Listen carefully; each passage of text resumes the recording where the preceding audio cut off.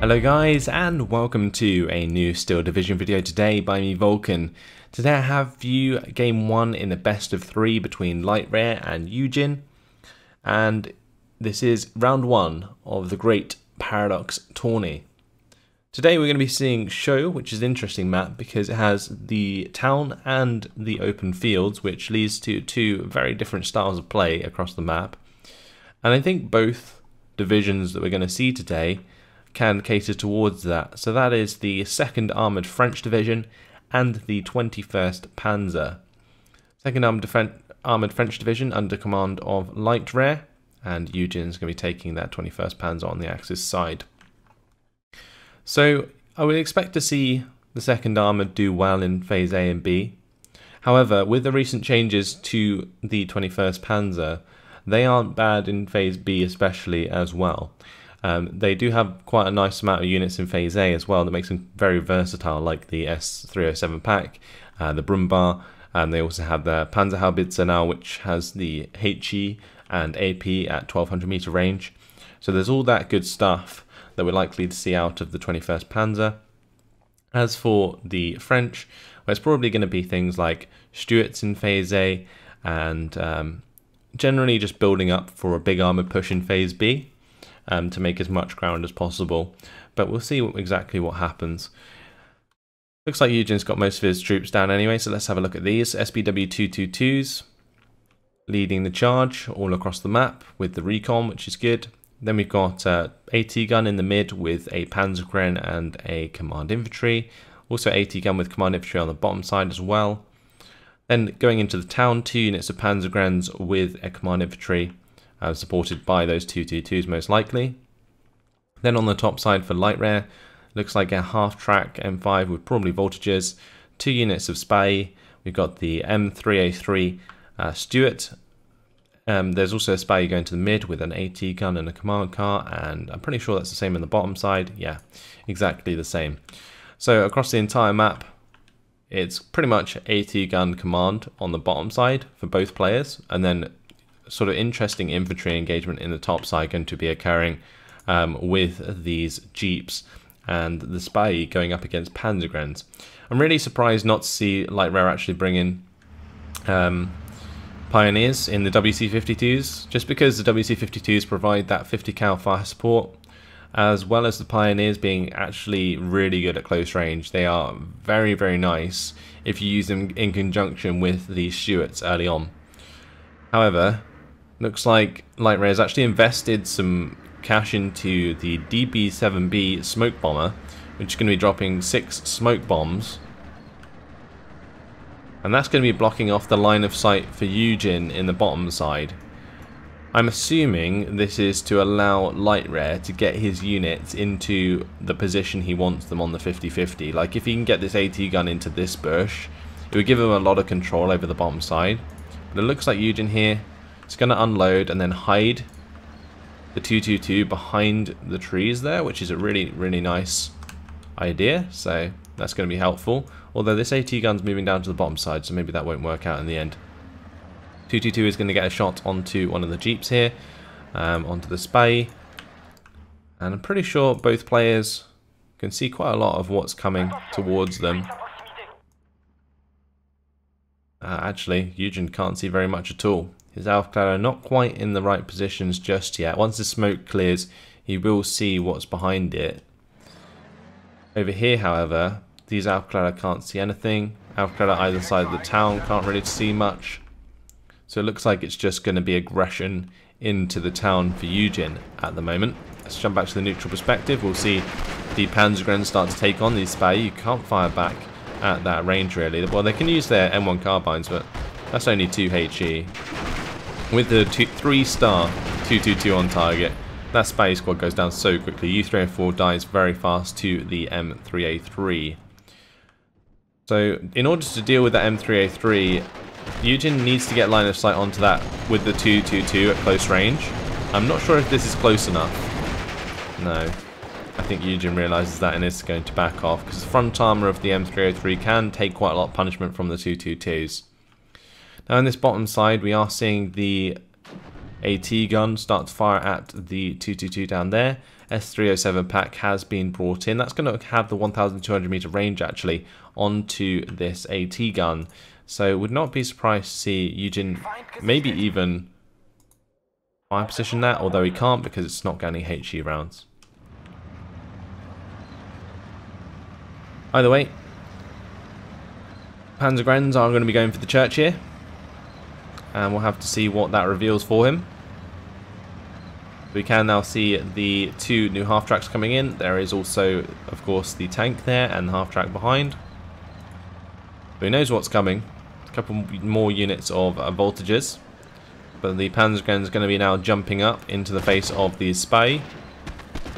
Those Spy, at close range, they can do a little bit of damage. However, Panzergrens have the hard cover, so that's not going to work out too well. But these Panzergrens being in this building does allow the fire support from the, the half-tracks here.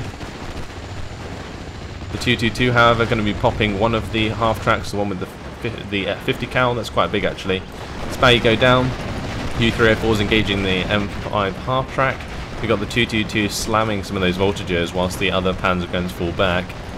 And the Panzergrenführer are in the town, and this is an interesting choice because they're going to get hammered. And he doesn't want to lose that Panzergrenführer because otherwise his all of these units lose their veterancy. And it looks like they're both the voltigeurs and the half-track ended up focusing down the command infantry and killed them off quite quickly. In the middle of the map, things pretty static. In the bottom side, 257 coming in. Now, if that 257 picks off the, the uh, AT gun, that's actually going to allow the 222 to push through very hard down there. And YueJin can see the opening in the front line, most likely, so he'll, he'll try and play around that. Now, with the Aufklärer coming forwards, it reveals the Spy, the 222 have taken them out. Um, 81mm mortar is going to be trying to push back those Panzergrens, and will be likely successful in doing so. The engagement in the town has, for now, been stopped. 42 points in the favour of the Allies, with a 50-50 currently. So it looks like the command's gone down there as well. Uh, we're also going to be finding the 57mm AT gun here. YueJin, I think, has line of sight onto that because of the Aufklärer. So he's going to have to find a way in order to take that out. Maybe bait it with the U304. It looks like that might be trying what, what he's trying to do. Might be an accident.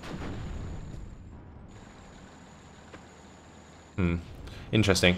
I would expect the 222 to come out here and uh, go for that kill while the U304 is engaging. I think that might have been what he was trying to do, maybe just a bit delayed um, with the micro on the bottom side. 257 uh, taking out the AT gun down there, AT gun in the mid also now dead. And that opens up a big chunk of the map for these 222s to exploit. Um, so that's a lot of points actually invested in those AT guns that is now just gone. Uh, and Lightrare literally got no kills from those AT guns. Didn't even kill the U304 there, and another unit of Spy going to be going down to the 222. So there is a M8 Scott here. I'm not sure if YueJin knows that's an M8 Scott. If he does, he can literally charge it down because the M8 Scott shouldn't be able to do too much to his 222. It might be able to force him to fall back with the HE rounds, but the closer he gets, the more chance he has of penetration, and he'll be looking for that kill there, although it looks like he's going to be pulling off. And the 50 cal plus the HE actually does have a chance of penetrating 2 armor. So he does have to be careful of that, and with that starting to fall back, it could be an issue. But now there's a Pak 38 coming up. That's actually already being mortared because it's moving into the same position of the Panzergrens. Um, 222 in the town's actually running low on ammunition. Panzergrens are getting low as well under the fire of the voltigeurs and the M5 half-track there. Uh, also with the command infantry dead, that's going to make them surrender once they lose their morale. So that's quite a big deal. 222 is now falling back. That's actually going to be in line of sight of this M5A1 that's been brought up to reinforce.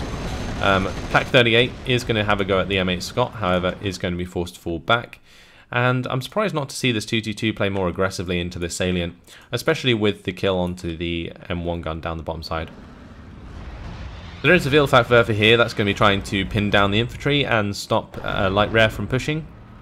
Pak 38 on the top side, almost getting the M3A3 half track there, or the M3A3 Stuart, sorry. Half track now moving up to engage as well. However, that's going to be one shot. So an interesting engagement at the moment, quite uh, even across the map. Um, it's just really up to YueJin to try and you know, make some ground on this bottom side where there's a big salient. Of course, he has to be careful that if he moves the 222 through here, that the M5A1 half track doesn't come around and or come down and intercept him. And it looks like another one's being brought in anyway.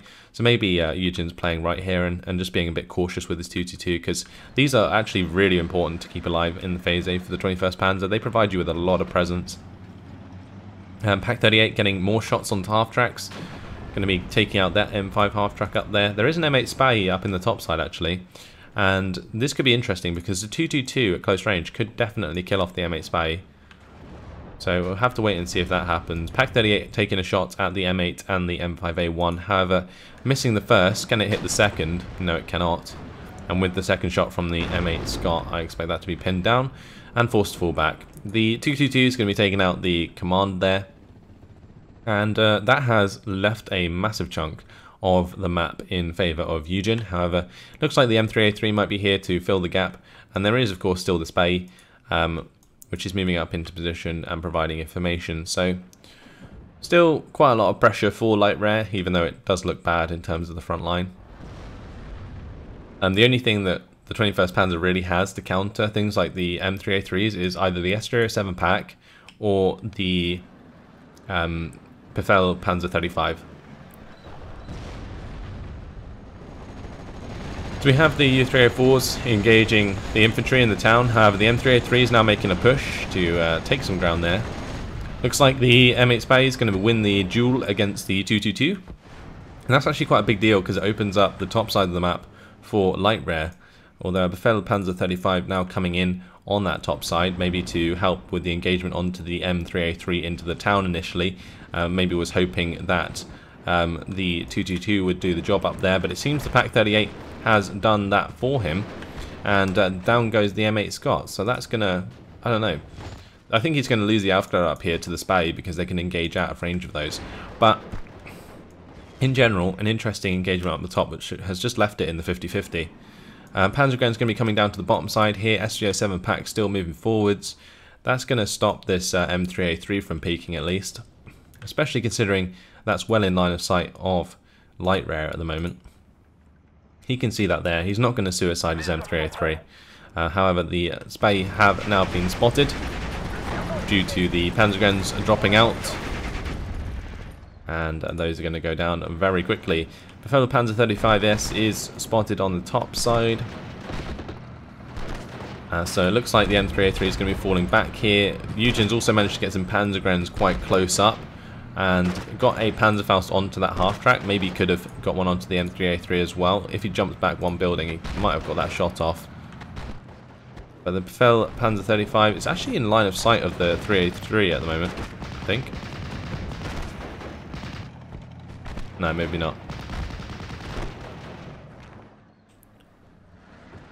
On this top side, or like in the mid, we've got the Panzergrenadier being hit by the M5A1 half-track with a 50 cal, and that's a 2-star 50 cal, so that Panzergrenadier needs to be careful. Another 257 brought in to deal with the enemy mortar, I feel. Although that is currently mortaring the Nueve. 257 is moving in on the bottom side as well. So the M3A3 has moved forwards. It's actually found line of sight onto the 222. Really nice positioning from this M3A3. It's out of line of sight of the S307 Pak, but it can fire at the 222.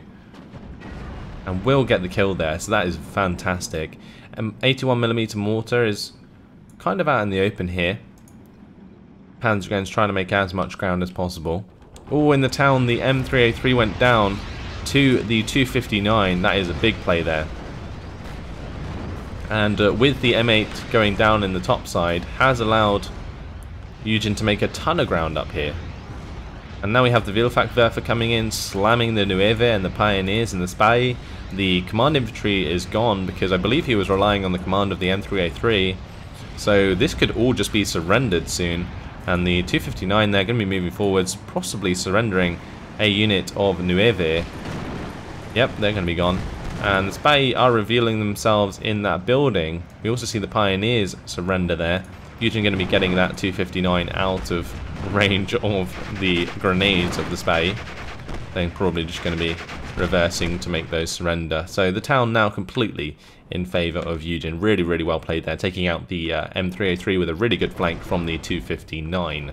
Fantastic stuff. Um, S307 Pak is being engaged by the M10 at the bottom side.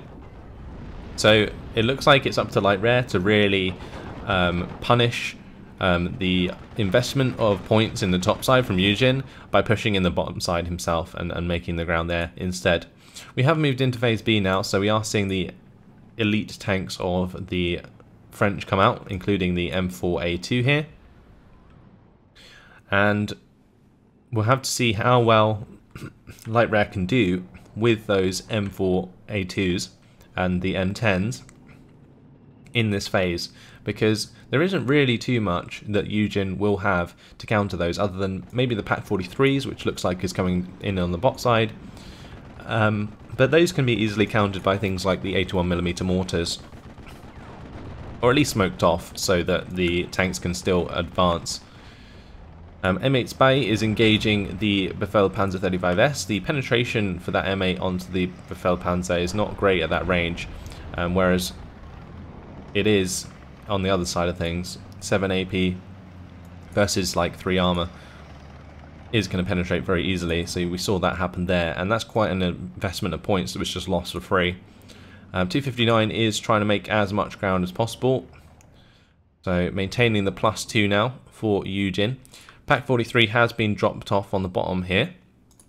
And that might find line of sight onto the M3A3. Might get a shot off. Oh, did get one shot, but didn't hit the mark with it. So there we go. 259 actually going to be forced back by the M4A2 that's coming in from the mid. There's an M5A1 coming in from the spawn there as well. And that M5A1 has a pretty good chance against the Befehl Panzer 35, just because it has a slightly higher chance of penetration, but the M5A1 actually going to be picking off the 259 there, and that pushes things back to a plus one. So Lightrare still has a decent chance in this game, he's just got to sort of exploit uh, the Phase B and try not to be picked off by this Pak 43 that is currently rolling forwards into a pretty nice position. Ideally in this situation you'd probably have either the mortar carriers with like the M21 mortar carriers or you get this uh, 81mm mortar in range without being in line of sight of the Pak 43 and I think he's currently just about managed to do that and it's going to be finding the mortar uh, shells onto his target which is good because as soon as this Pak 43 gets pinned down the M10 can use the last HE round on it and maybe do a bit more damage there. We can also have the M3A3 just sort of rush up the road and, and maybe take it out with the machine guns as well. So there's plenty of opportunity um, for Lightrare on the bottom side.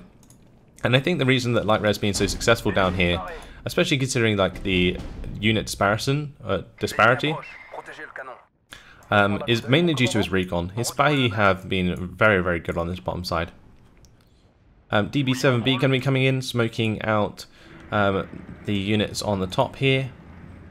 The 259 and the Pak 38. He's going to be trying to find room to get his units into these buildings.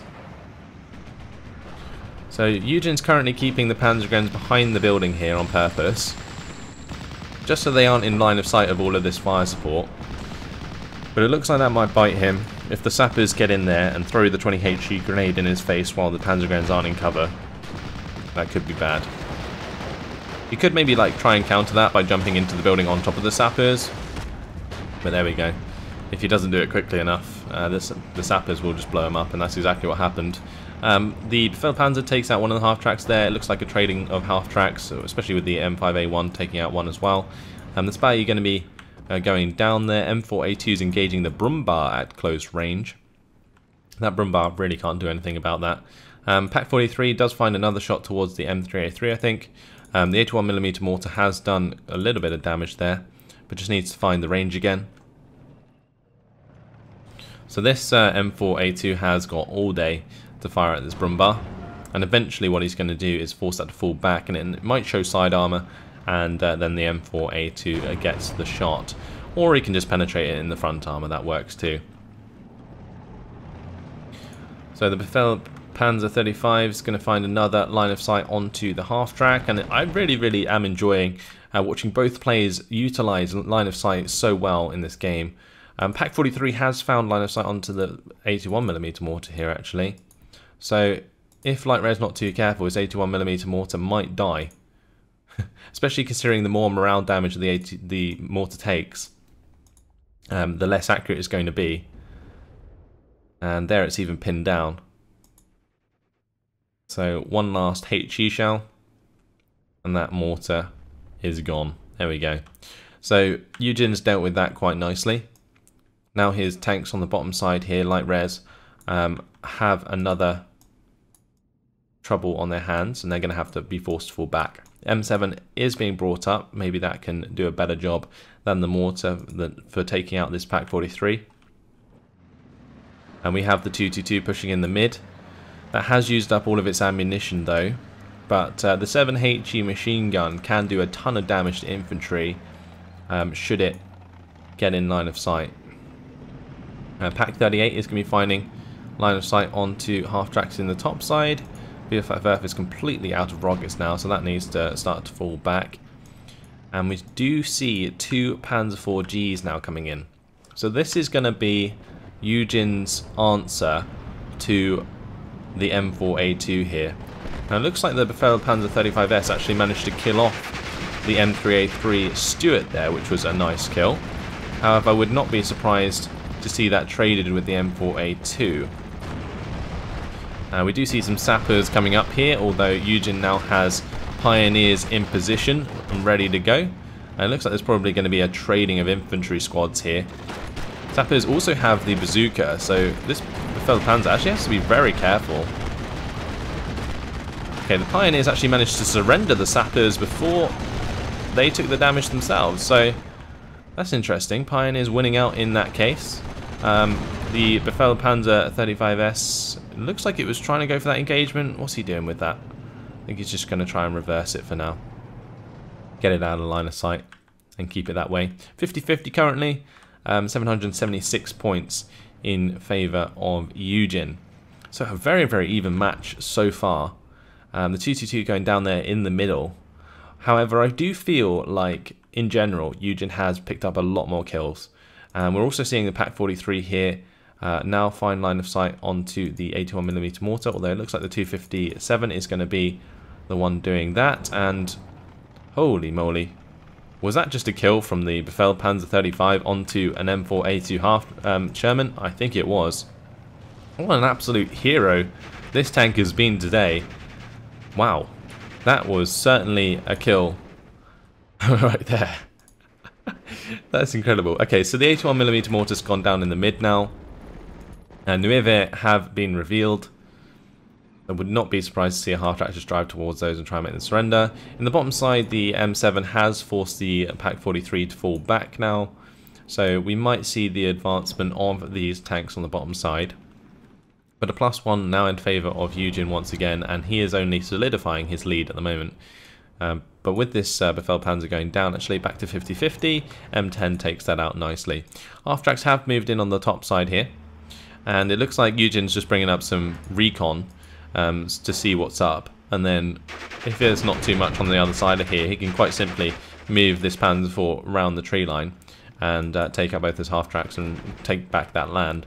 Because that's probably the only reason that he's not still at a plus one. It's just this little salient up here with the two half tracks in it. But in the mid, things falling apart actually quite quickly, especially with the 257 there taking out the AT gun. That's quite big. And if these Nueve go down, that's just going to leave an M5A1 half track and the GMC supply vehicle to defend that. Also down here, oh, this is a big mistake. M7 didn't keep the Pak 43 pinned down or smoked. So the Pak 43 did its job, took out both the M3A3 and bailed out the M10. And that stops any push from Lightrare on this bottom side. That's tragic, because it really swings things down there completely.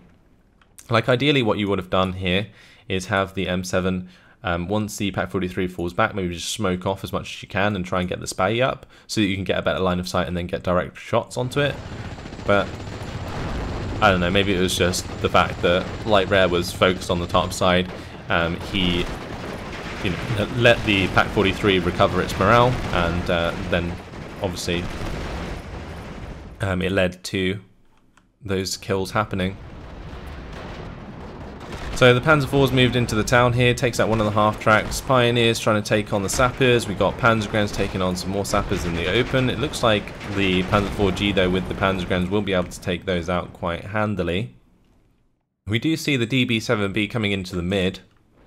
That's going to be trying to smoke off the Pak 43 to allow the M5A1 to move up. However, if he doesn't do this to one side or the other, that Pak 43 is still going to find line of sight down that road, which is exactly what's going to happen here the M5A1 is in line of sight of the Pak 43 as far as I'm aware. And that's going to be a one-shot, one-kill. Interesting. So on the bottom side, with the Pak 43 going down, there's not actually too much here for YueJin. He's got the mortar carrier, but saying that, a Königstiger is on its way, and uh, that is not very fun for Lightrare. Um, the Panzer IV-G has also found these half tracks in the top side, which has pushed the territory lead to 55% for YueJin.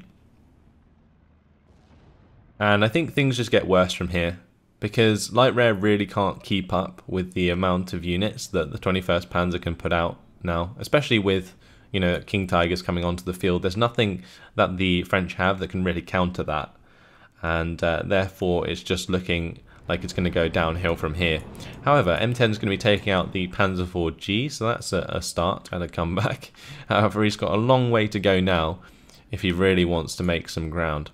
And uh, from Lightrare's perspective, you know, things aren't looking too good. He's got a very limited amount of forces. And now he sees the King Tiger come about.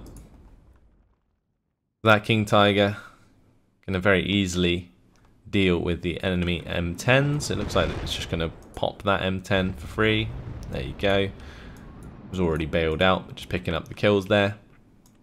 Panzergrenz in the mid did go down to the M5A1 half track as they moved up, but the Pak 43 going to be returning the kill there. Panzergrenz going to be engaging sappers from the ideal range, getting the MGs on target there is going to be great. Going to pin those down. And another half track going to be taken up by Pak 43 on the bottom side of the town, um, which is going to lead to Lightrare's surrender and a minor defeat after 24 minutes and 46 seconds. So there, I think that was a you know warranted surrender from Lightrare. He did play very well in the early phases, but as soon as you get to phase C and uh, you're completely outclassed by the 21st Panzer, it's just not much else you can do, especially if you are in that position. Um, ideally, what would have happened is the second armored pushes through phase A and phase B, makes some ground, and then is forced to try and hold it in the later phases, which is when the 21st Panzer would come back. But uh, in this case, YueJin just played around phase A and B very, very well, and then just solidified the victory in phase C. And that was pretty much the gist of it. So the kills in the early game going to this M3A3 for the French, we got a nice amount of um, half track kills and the 222s in the town there, which definitely helped out a lot.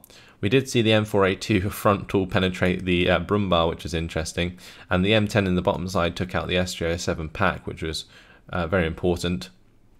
This M7 kind of let the team down by not killing off the Pak 43 sooner.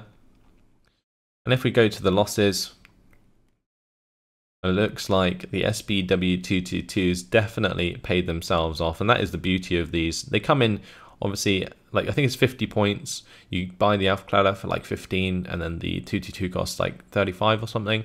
And then they go ahead and take out two units of Spey and a 57mm AT gun. That's pretty much paid itself off two, almost three times over. Um, so that's really good. Um, Pak 37's getting some one shots without veterancy. That was interesting. Um, the Panzergrenz took out the WC-52 there. We also see the Befehl Panzer 35. What an absolute hero unit this was in this game. Took out the M4A2 at close range. Fantastic. Took out loads of other units as well. Just the aim time there at close range, really, really helping it out. And then just later on, King Tiger comes in. Hey, what up? I'm going to win the game and uh, destroys both the M10s on the bottom side, leads to Lightrare's surrender. And uh, there you have it. That's pretty much it. Fantastic game. I actually really, really enjoyed that. It was proper uh, close for the majority of the game. Um, YueJin just having the edge though and uh, winning, winning out in the end. So fantastic game. Hopefully the second one will be as good, but we'll have to wait and see. Thanks for watching guys, and I hope to see you then. Goodbye.